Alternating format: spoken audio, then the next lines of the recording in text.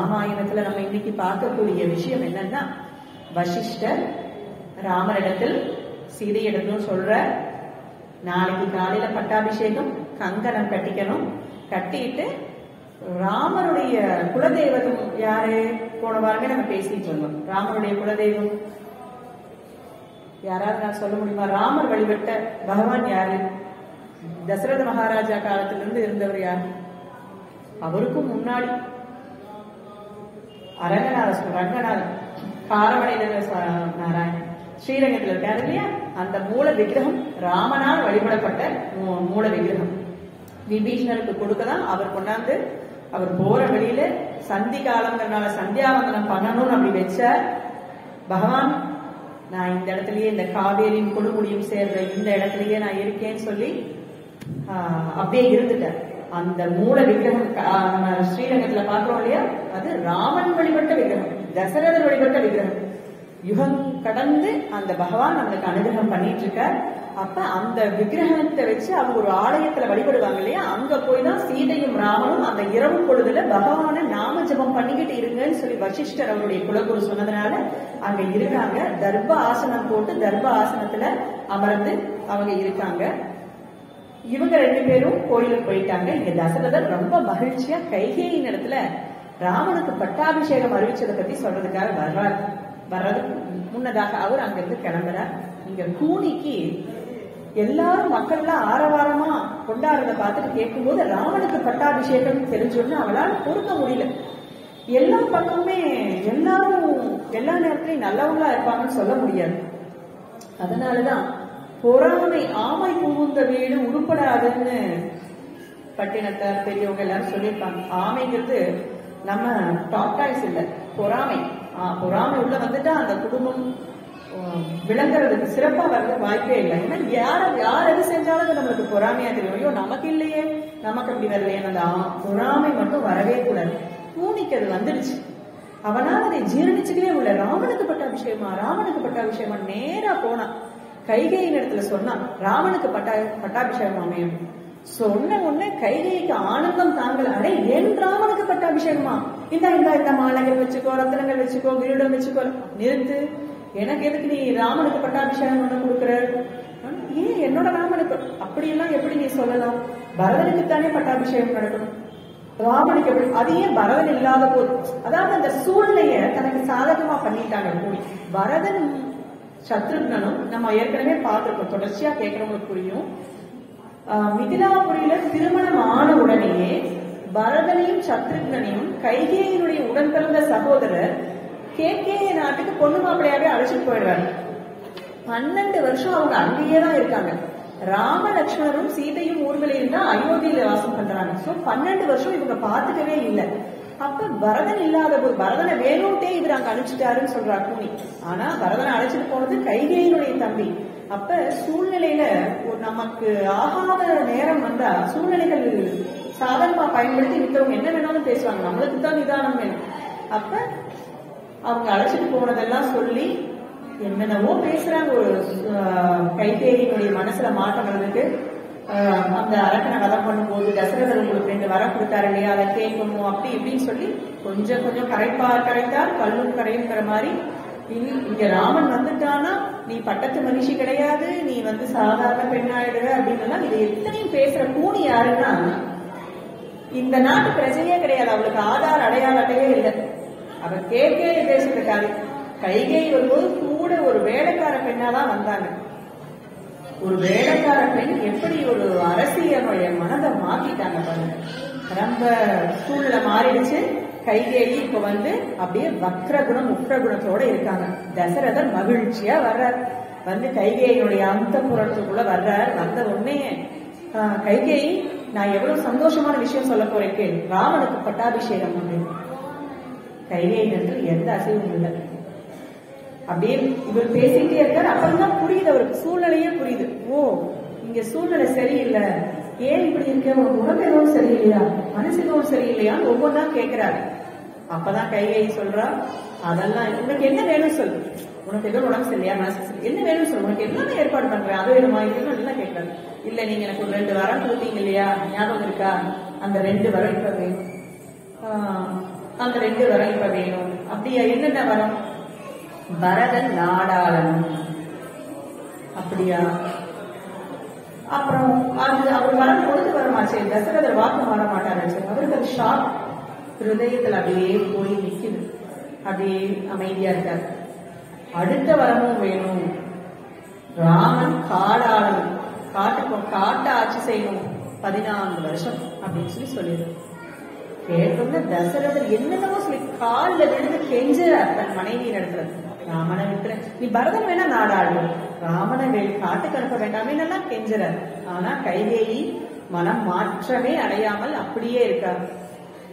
உடனே இந்த நாள் போகுது. இரவு பொழுது ஆயிடுச்சு. இப்படியே போகுது. இரவு முழுக்க அவர் போராடிட்டு இருக்கார் தசரதர். அதிகாலையில ராமன் அந்த கோவில்ல அரங்கன ரங்கநாதருடைய ஆஸ்தானத்துல சீதையும் ராமன் ரொம்ப அற்புதமா தயாராகி நிக்கிறாங்க. வசிஷ்டர் என்ன இன்னும் தசரதரை காணமே அப்படின்னு சுமந்திரரை அனுப்புறார் அவருடைய அமைச்சரை. அனுப்பிச்சு இங்க வந்து பார்த்தா த- தசரதர் முடியாம படுத்திருக்கார். கைகேயி அவங்க ரூபமே சரியில்லை. உள்ள போன உடனே கைகேயி சொல்றாங்க ராமனை அழைத்து வாருங்கள்.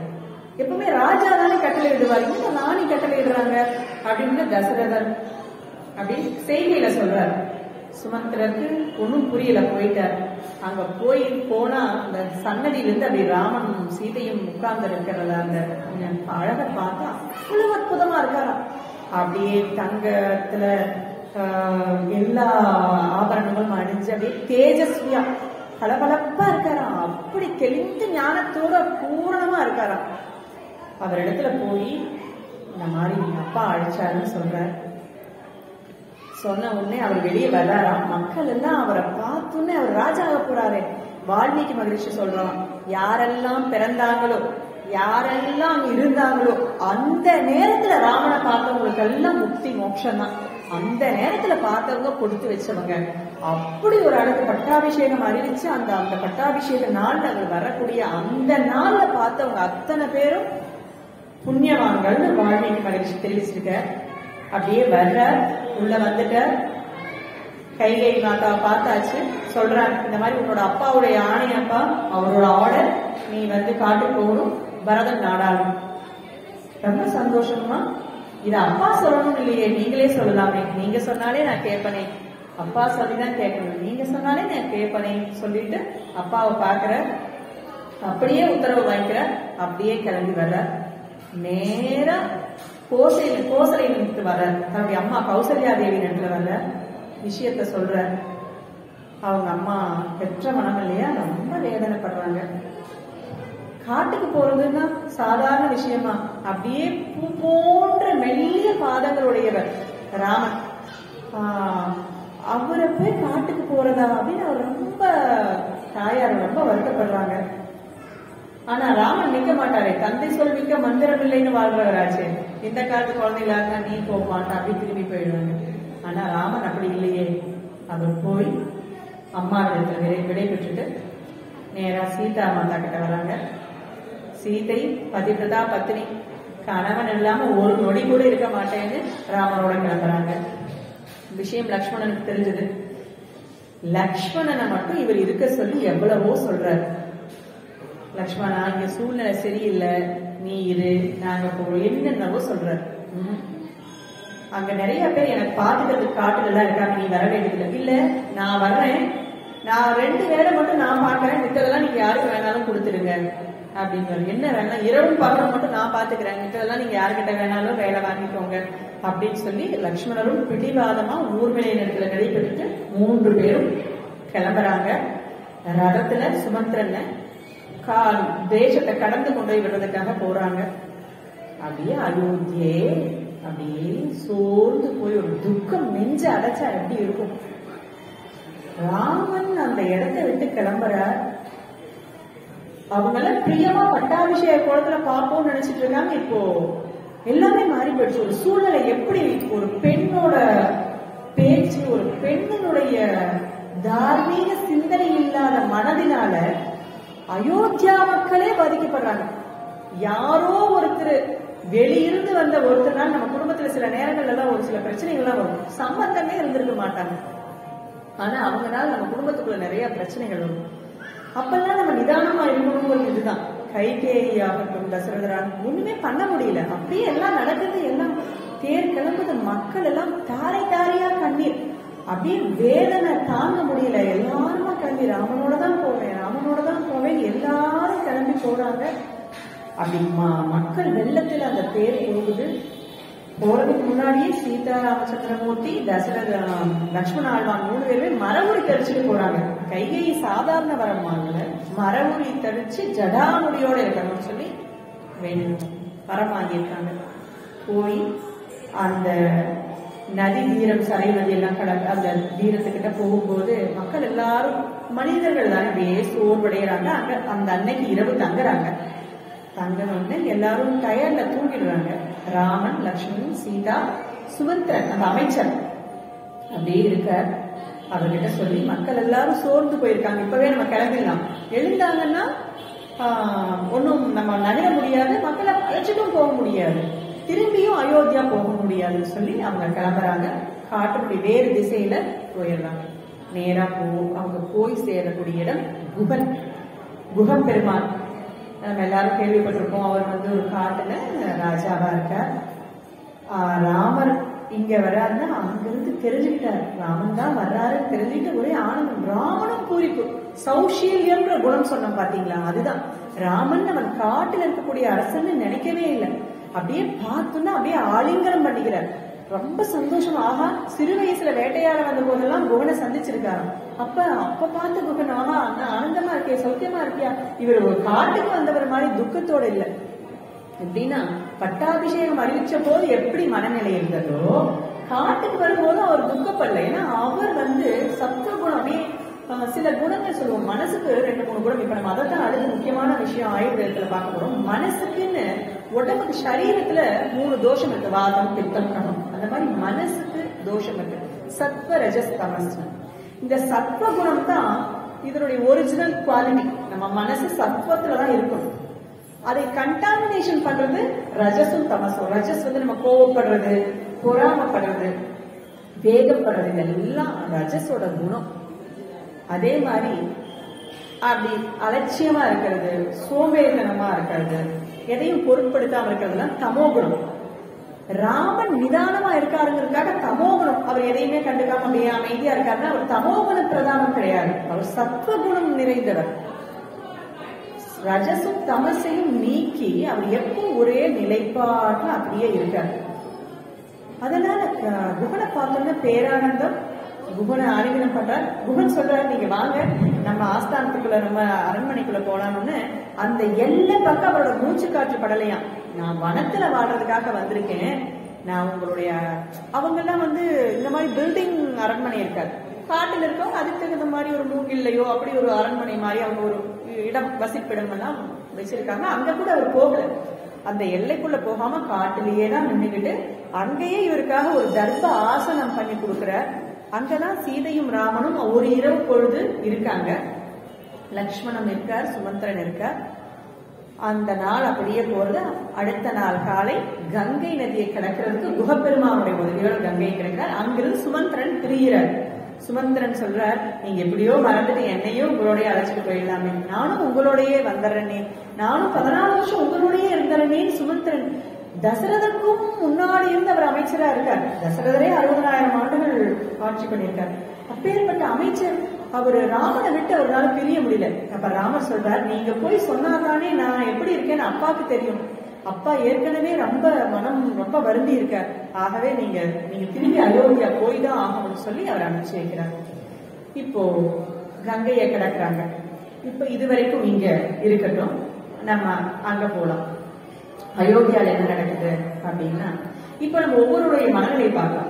மன்யத்தை அனேன இதி மனகா மன்யத்தே நியாயத்தே அனேன இதி மனகா மனசுங்கிறது என்னன்றது தான் இப்ப நம்ம பார்க்க போறோம். ஆயுர்வேதத்தை தவிர வேற எந்த சாஸ்திரத்திலையும் மனசை பத்தி பேசப்படல. ஒரு அலோபதி மருத்துவத்துல மனச மனசை பத்தி நம்ம எதிர்பார்க்க முடியாது. வேற எங்கேயுமே கிடையாது. மனசுங்கிறது உபயேந்திரியம். பஞ்ச ஞானேந்திரியம் பஞ்ச கர்மேந்திரியம். இந்த கண்ணு மூக்கு வாய் நாக்கு தோல். இதெல்லாம் வந்து கர்மேந்திரியம். இந்த கண்ணால பார்க்கக்கூடிய பார்வை ஞானேந்திரியம். அது ஞானங்கிறது அறிவு. கண்ணால நம்ம ஒரு விஷயத்த பார்க்கறோம். இந்த கண்ணு பார்க்குது. இதோ இதுதான் வெளிச்சம். இதோ இங்க ஒருத்தர் உட்கார்ந்துருக்காரு. இந்த ஞானம் எப்படி வருதுன்னா மனசோட சம்பந்தத்தினாலதான் நம்மளுக்கு இது கிடைக்குது. வெறும் கண்ணு பார்க்கறதுனால அந்த அறிவு கிடைச்சது இல்லை புரியுதுங்களா? கண் பார்க்கிற பார்வை இந்த கண்ணுங்கிறது கர்மேந்திரியம். இது இது ஒரு ஆக்ஷன் இது பார்க்கறது தான் பண்ணும். இப்போ சிலர் வந்து மனநிலை பாதிக்கப்பட்டவர்களாகவும் கோமால இப்படி பார்த்துட்டே இருப்பாங்க. நம்ம சில திரைப்படங்கள் எல்லாம் நமக்கு அப்படி காட்டுறாங்க அப்படி பார்த்துட்டே இருப்பாங்க. அவங்களுக்கு எந்த இதுவுமே போகாது. அப்படி போயிட்டு அந்த கண்ணுல செய்கை வராது. இப்ப நம்ம ஒருத்தர் பார்த்தோன்னே நம்ம இப்படி மறைச்சிடுங்க. கண்ணுல கூட நம்ம சிரி பார்த்து நம்ம சிரிச்சோம்னா நம்ம கண் அதை காமிச்சு கொடுக்கும். அந்த ஞானேந்திரியம் அந்த ஞானம் வந்து மனசோட சம்பந்தத்தினால்தான் வருது. இப்ப நம்ம காதல கேட்கிறோம் கேட்டுட்டோம் அப்படிங்கறத உணர்றதுக்கு அந்த மனசு வேணும். நாக்குல சுவைக்கிறோம் அந்த சுவை தெரியுது. அது அது இடையில தெரியாது. இந்த மனசு மட்டும் நம்ம கண்ணுக்கு தெரியாது. ஆனா எல்லா வேலைகளையும் அந்த மனசோட சம்பந்தத்தினாலதான் இந்த அறிவு நம்மளுக்கு கிடைக்கும் அப்ப இப்பேற்பட்ட மனசு ம- மனக மன ஏவ மனுஷியானா காரண பந்த மோட்சய. மனுஷ மனுஷனுக்கு பந்தமும் மோட்சமும் ஏற்படுறதுக்கு இந்த மனசுதான் காரணம். ஒரு பந்தம் ஏற்படுறதுக்கும் மனசுதான் காரணம் மோட்சம் கிடைக்கிறதுக்கும் மன- மனசுதான் காரணம். இந்த மனதை கட்டுப்படுத்தியவன் தான் மோட்ச பிராப்தி அடையலாம் மனசை கட்டுப்படுத்துறதுன்னு சொல்ற இந்த மனசு எங்காவது யாராவது பாத்துட முடியுமா? இதோ இப்படிதான் இருக்கு. இதை ஜெய ஒரு பெட்டிக்குள்ள போட்டு வச்சிடலாம் அப்படின்னு நம்ம எதுவும் சொல்ல முடியுமா? எதுவுமே பண்ண முடியாது. இந்த மனசை வந்து நம்மளால கண்ணால பார்க்க முடியாது. ஆனா மனகஸ்தானம் ஹிருதயம். நம்ம மனசு வலிக்குதுன்னு இங்க தானே சொல்லி சொல்றோம். மனசு வலிக்குதுன்னு நீங்க சொல்றது இல்லையே நம்ம இயற்கையாவே நமக்கு பகவான் அனுகிரகம் பண்ணியிருக்காரு. மனசுன்னா அது இங்கதான் கிருத மனகஸ்தானம் ஹிருதயத்துலதான் மனசு இருக்கு. அந்த மனசு நமக்கு எப்பவுமே எல்லா விஷயங்களுக்கும் அது உபயேந்திரியமா அது மறைமுகமா இருந்து எல்லா விஷயங்களையும் நமக்கு செஞ்சு கொடுக்குது. இப்ப இந்த மனசை பத்தி நம்ம ஒண்ணு சொல்லும்போது ஒரு விஷயத்த தெரிஞ்சுக்கிறதுக்கு இந்த மனசுதான் நமக்கு உதவியா இருக்கு. அதே மாதிரி மனம் வந்து இடைவிடாத சிந்தனையுடையது. மனம் வந்து அப்படியே ஓட்டத்தோட எந்த நேரம் ஒரு சிந்தனையோடவே தான் இருக்கு. அந்த சிந்தனையை கட்டுப்படுத்துறதுக்கு தான் நமக்கு தியானம் அவசியமா இருக்கு. அந்த தியானத்துக்கு தான் பகவானுடைய ரூபம் அவசியமா இருக்கு. அந்த ரூபத்துக்கு தான் பகவானை பத்தின கதைகளும் அவரை பற்றிய விஷயங்களும் அவனுடைய பெருமையான குணங்களும் அவசியமா இருக்கு. பகவானை பற்றிய குணங்களை அறிவதற்கும் பகவானை பத்தின நல்ல விஷயங்கள் தெரியறதுக்கும் பக்திங்கிற அடிப்படை விஷயம். அவசியமாக்கு இந்த பக்தி ஏற்படுறதுக்கு தான் இப்படி நிகழ்ச்சிகள்லாம் நம்ம நடத்தணும். ஆகவே இந்த மனது வந்து இடைவிடாத சிந்தனை. மனகஸ்தானங்கிறது ஒவ்வொரு இந்திரியம் செயல்படுறதுக்கும் நம்ம நான் முதல்ல சொன்ன ஒவ்வொரு இந்திரியம் கை அசையணுமா? இந்த நாக்கு டேஸ்ட் பண்ணுமா காது கேட்கணுமா? கண்ணு பார்க்கணுமா? வாய் பேசணும்? இது எல்லாத்துக்குமே மனசோட சம்பந்தத்தோடவே தான் ஒவ்வொரு விஷயமும் நமக்கு நடக்குது. ஒரு இந்திரியத்தினுடைய ஞானத்தோட இப்போ நம்ம என்ன பண்றோம்னா மனசு வந்து அதீந்திரியம்னு ஒரு பேர் உபய உபேந்திரியம்ங்கிற மாதிரி அதீந்திரியம் எக்ஸ்ட்ரான் எக்ஸ்ட்ராடினரி சென்ஸ் ஆர்கன் அது வந்து இதுதான் ஒரு வேலை தான் செய்யுது அது நிறைய வேலை செய்யுது ஜூயல் ஆர்கன் சொல்லலாம் இப்ப வந்து இப்ப கண்ணை என்ன நான் சொன்னேன்? கர்மேந்திரியம்னு சொன்னேன். கண்ணால பார்க்கப்படும் பார்வை ஞானேந்திரியம். இப்ப கண்ணு கர்மேந்திரியம். கண்ணால பார்க்கக்கூடிய பார்வை அந்த விஷன் ஞானேந்திரியம். ஆனா மனசு மனசே தான் கர்மேந்திரியம் மனசே தான் ஞானேந்திரியம். அது டியூயல் ஆர்கன் அது ரெண்டு வேலையும் செய்யும். மனசே தான் அந்த வேலையை செய்யும். இப்ப அந்த மனசு என்கிட்ட சொல்லுது நீ இதை பேசு அப்படின்னு. அது சொல்றதும் அதே தான் பேசுறதும் அதுதான் அப்ப இந்த ரெண்டு வேலையும் செய்யக்கூடிய ஒரே ஒரு ஆர்கன் பார்த்தோம்னா அது வந்து மனசு தான் இப்ப இந்த இந்த மனசு இல்லைன்னா எந்த விஷயத்தையுமே நம்ம புரிஞ்சுக்க முடியாது. எந்த அறிவு சா கண்ணில் எந்த விஷயத்தையுமே நம்மளால புரிஞ்சுக்கவே முடியாது. இந்த மனசு என்ன பண்ணுது? கௌசல்யா மாதாவோட மனசு துக்கமயமா இருக்கு. தசரதருக்கு துக்கமயமா இருக்கு. கைகே இது ஆனந்தமயமா இருக்கு. ஒரே விஷயம் தான் நடந்திருக்கு. ஆனந்தமா கூனிக்கு பேரானந்தமா இருக்கு. லக்ஷ்மணனுக்கு கோபமா இருக்கு. சீதைக்கு நிதானமா இருக்கு. குஹனுக்கு ஆனந்தமா இருக்கு. ராமனை பார்த்துட்டமே. சுமந்திரனுக்கு வேதனையா இருக்கு. இப்படி ஒவ்வொருத்தரோட மனசுலயும் ஒவ்வொரு விஷயங்களை அவங்க அந்த மனசு அவங்களுக்கு காண்பிச்சு கொடுக்குது.